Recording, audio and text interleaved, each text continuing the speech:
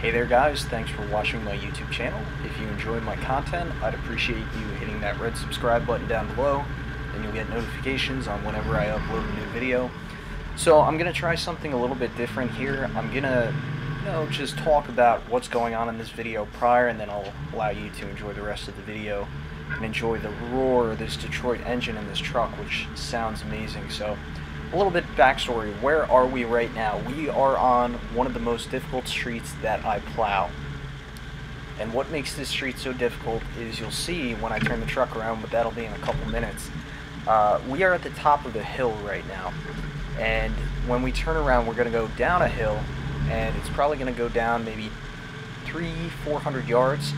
And then right at the base of the hill, it turns to the right. It's a hard 90 degree right turn. And commonly when I plow this hill, I'll have cars parked at the bottom, and if it's an ice storm, it's always very sketchy. Uh, oftentimes when we have an ice storm, I will back up and salt going up the hill so that way I always have some traction under my tires. Now, with this specific snowstorm, it's kind of hard to tell, but there's about 22 inches of snow on the ground, and I have not been able to get enough traction to get to the top of the hill. Uh, so I ended up having to go back to the yard, get a full load of salt, and I was able to make it up to the top of the hill, but I wasn't able to plow up the hill. I just drove right up the hill. I made it to the top. Uh, so what I'm doing right now is just clearing out this cul-de-sac at the top of the hill. Uh, normally, the the policy is to kind of do a circle around the cul-de-sac and kind of leave a pile in the middle as opposed to pushing it on uh, people's front lawns. But the cul-de-sac up here was too tight for me to do that, and I figured the best option would be for me to just simply clear out the cul-de-sac at the top of this hill completely. So yeah, you'll just see me pushing this back, pushing it back, and uh, you'll also see me help out the neighbor with the uh, the black minivan at the top of the right of the hill there. I think that's minivan. I can't really tell from the video right now. So yeah, this this is quite a challenging hill.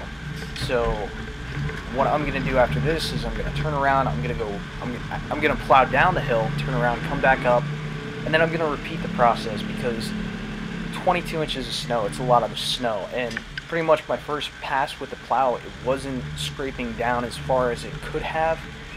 Uh, so the second time was really just cleanup pass, and that's about all I have to say about this challenging hill. And uh, enjoy the rest of the video. Thanks for watching.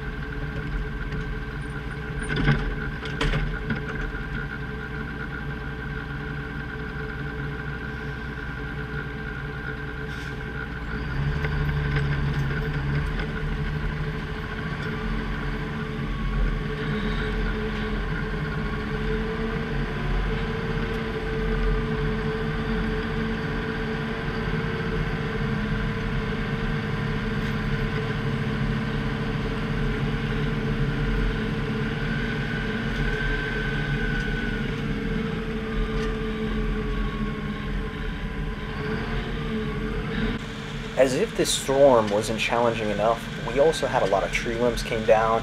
Uh, we had a lot of low-hanging cable wires. If you look closely, right about now, you'll notice that my front wing post comes within inches of pulling a cable line out, which that cable line was already brought down by a tree limb or something that hit it and brought it down lower, but that's just one of the hazards we face out here. Now, thankfully, cable lines, there's a very low amount of current going through them, so, uh, you know, we don't really worry about hitting them too much, but of course we do everything we can to try and avoid them. However, if that was a power line, that would be a completely different story, and I would not even have attempted the hill.